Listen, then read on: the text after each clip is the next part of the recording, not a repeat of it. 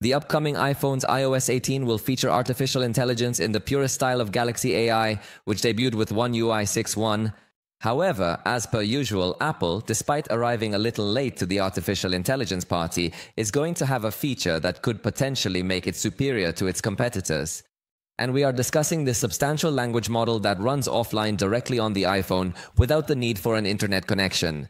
This would enable Apple to promote privacy and speed as one of the most advanced features, as you would not have to send all the content to the cloud and then download it, but everything would run much faster. And as I mentioned previously, with the certainty that all your information, photos or data are directly stored on the iPhone without the need for any intermediary steps or transfers. However, this can also create a slight disadvantage, as the models that run offline directly on cell phones are still not as powerful as the models that we can find compared to the models that run in the cloud, which have much more processing power and a much larger amount of data, enabling them to have greater intelligence and perform more complex tasks with higher accuracy and efficiency. So, let's wait and see if Apple manages to surprise because this information has been published by Mark Gurman in his Bloomberg newsletter,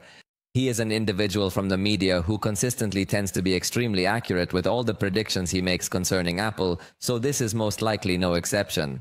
Another aspect that remains to be seen is whether Apple will provide these features free of charge or via a subscription, as Samsung is allegedly considering introducing a subscription fee for these features starting from 2025.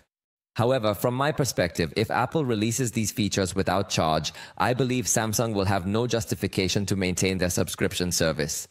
So if you are a Galaxy user, it is highly probable that it is on your wish list for Apple to have these features without any cost, so that Samsung is obligated to implement the same functionalities. Surely during WWDC, which is Apple's developer conference, we will be able to learn more information regarding these features that Apple is preparing and that will debut with iOS 18 and therefore with the upcoming iPhone.